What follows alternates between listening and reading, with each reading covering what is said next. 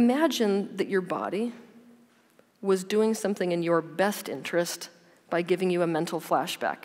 Okay, so if it's trying to benefit you in some way by giving you a flashback, what is it trying to do? It's trying to call your attention back. That's what it needs in order to heal. It's basically saying, come on, come on, come on, pay attention, I'm unresolved. Help! But we don't just have mental flashbacks. In fact, most of us don't. In the moment of trauma, it's not just your consciousness that fragments in terms of personalities, it's your consciousness that fragments even in how it stores memory. So, in the moment of trauma, the sight is stored separately from hearing, is stored separately from the feeling. That's the most common way that your being deals with distress that it cannot resolve, right? It puts all of these different aspects of the memory into little boxes. And some of those boxes are closer to the conscious mind. The box that tends to be the closest to the subconscious mind is feeling. How did that trauma feel?